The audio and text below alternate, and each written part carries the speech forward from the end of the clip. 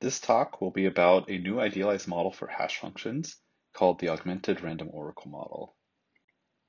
So imagine we have some crypto system that makes use of a hash function h. Unfortunately, no matter how hard we try, we cannot prove security based on typical properties of h, such as collision resistance. Nevertheless, the scheme seems to resist attacks, so what do we do?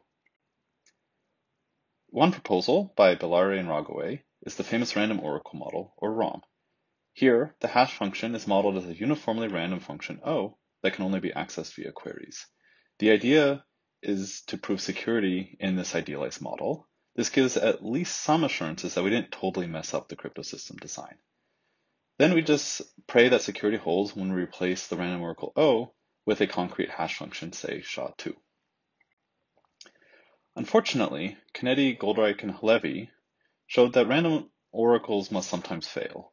They give what is called an uninstantiability result for the random oracle model by exhibiting a scheme S that is secure in the random oracle model, but insecure under any concrete hash function. Since their work, numerous other uninstantiability results have been shown. Despite these results, the ROM remains widely used and is a very important tool for analyzing practical crypto systems. In many cases, the random oracle model is the only way we know how to justify the security of practical crypto systems.